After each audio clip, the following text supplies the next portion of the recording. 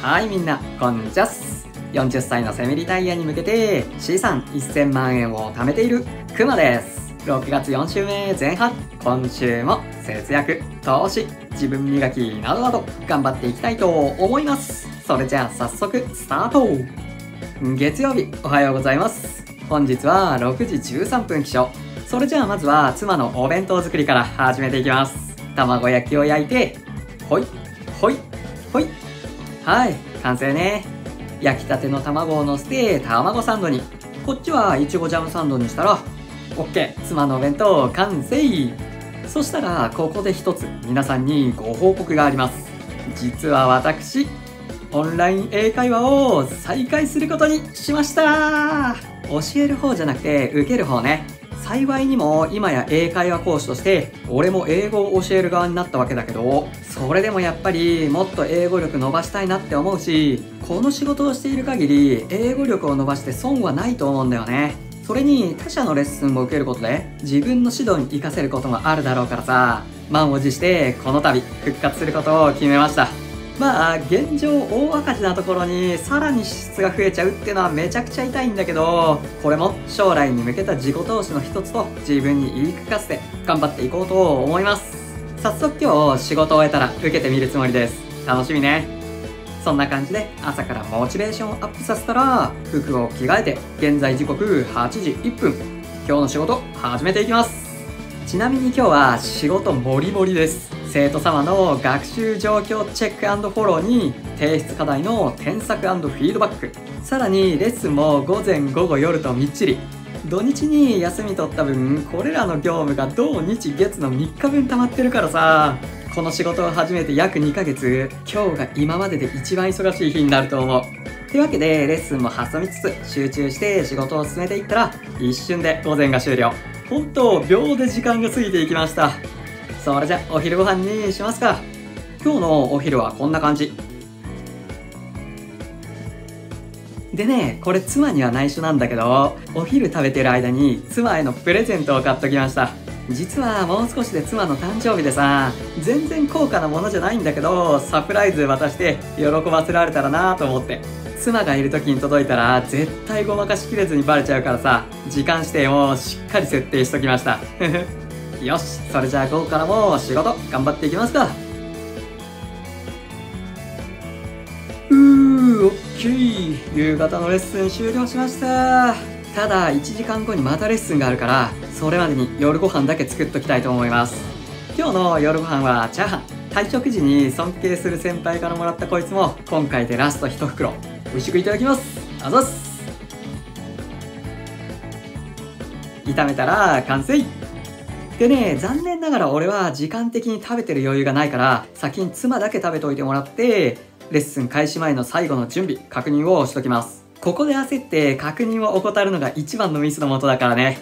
まあ大丈夫。なんとかなるでしょう。は、仕事の大敵です。過去に何度も大ミスをしでかしてきた俺が言うから、間違いないです。深呼吸して落ち着いたら、いざ、始めていきます。ふぅよっしゃー終わりました。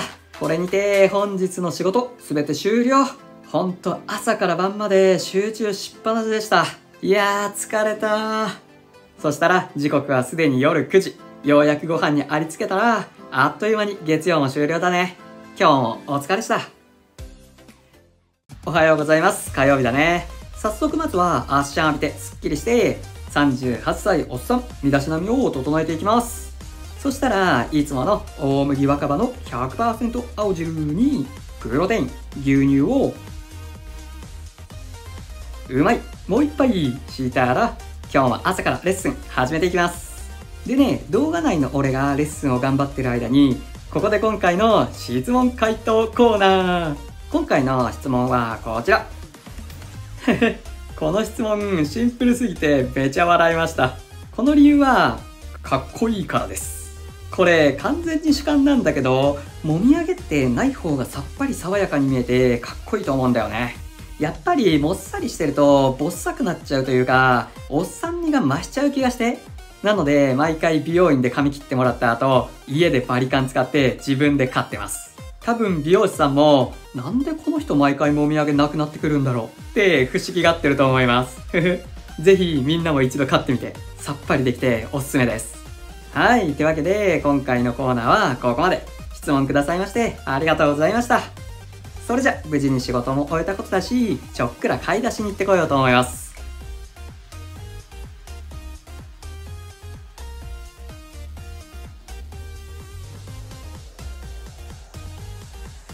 ふう、帰りました。ただいま。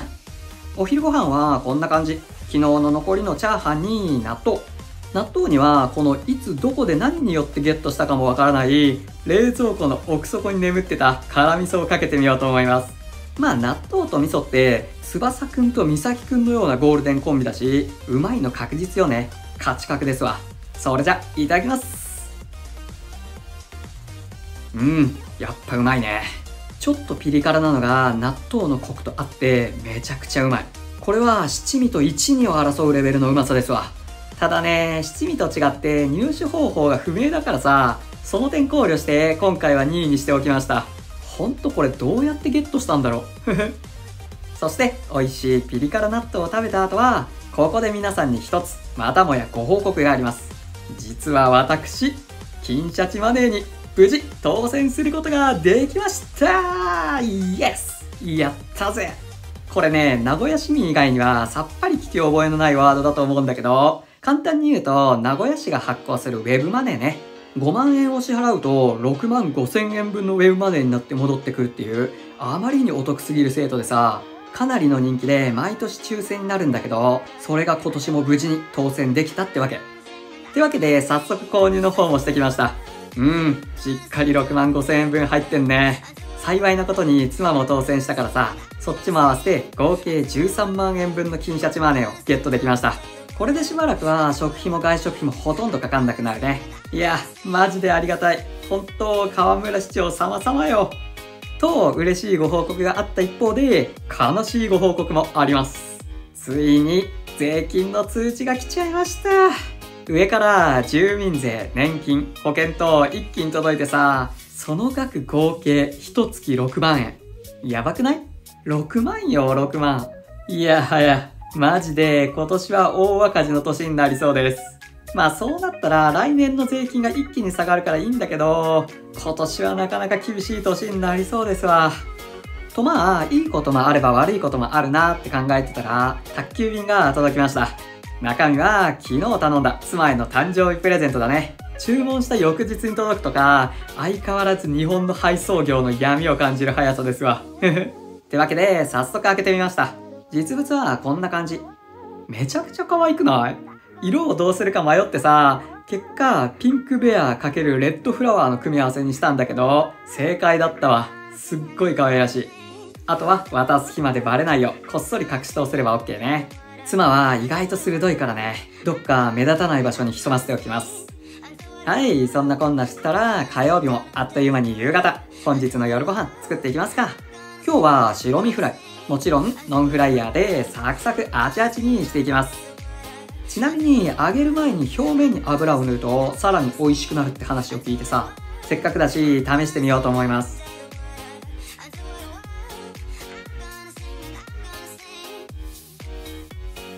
よっしゃ、できましたオープンおーお特に見た目は変わってないような食べてみたら違うんかね。とりあえずいただきます。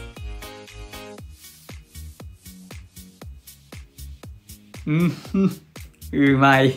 うまいけど油を塗ったことによる違いは特に肝心ね。塗る量が少なかったのかな。でも、あんまり油塗りすぎたら、それはもはやノンフライヤーでもない気がするしね。難しいところです。でね、夜ご飯食べた後は、本日最後のお仕事、生徒様とのレッスンを1件実施して、火曜日も終了。今日もお疲れおやすみ水曜日、おはようございます。本日は5時52分起床。早速いつもの栄養満点健康ドリンクを決めていきます。青汁にプロテイン、牛乳、今日はいつもの毒沼感がなくていい感じね。それじゃ、いただきます。うん、うまいぜ。そしたら、現在時刻7時44分。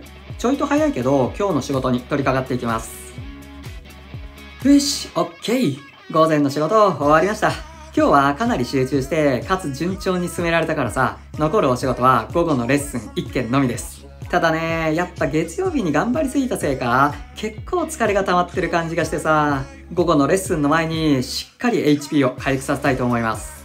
というわけで、まずはお昼ご飯から、完全栄養食である卵かけご飯に、パワーの源であるニンニクをかけた納豆、美味しいコーンスープ、これらをがっつりかっこんで、さらに仮眠も取っていく。これで HP 満タン。100%中の100%ですわ。そして、トグロ弟になったおかげで、午後のレッスンもバッチリでした。さらに動画の編集も進めちゃいます。セリフを録音したり、セリフとシーンを合わせるようにカットペーストしたりって作業だね。でね、ここで今回の動画3回目。またもや皆さんに一つご報告があります。今日めっちゃ報告多いね。なんと、私、オンライン英会話講師として初めての給料が入りましたイエーイ嬉しい嬉しいその金額がこちら !9798 円いやー、かなり衝撃的な金額が来ちゃったね。正直言うと、前々から額は分かってたんだけど、実際現実としてこれ見ると結構来るものがあるね。というのも、今回振り込まれた分って5月に働いた分だからさ、5月は転職して1週間ぐらいしか働いてないし、かつ担当生徒数も数人だったから、これぐらいしか得られんのよね。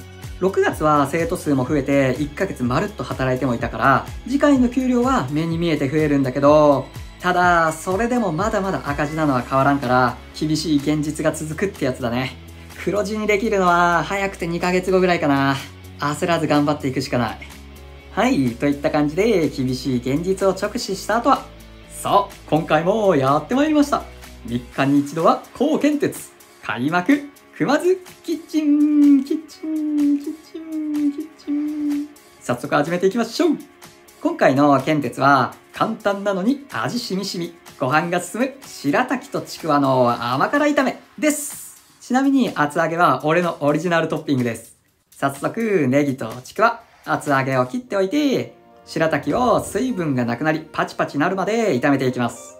そうしたらそこにちくわ、ニンニク2切、砂糖、醤油、水を入れて、これまた水分がなくなってパチパチ言うまで炒めていく。ちなみに本来であれば厚揚げもここで入れて味を染み込ませる予定でした。今回はなぜ入れてないかっていうと、私がその存在をすっかり忘れてたからですね。フライパンのすぐ隣にあるのに不思議なもんです。そしたら、ここでネギも投入していきます。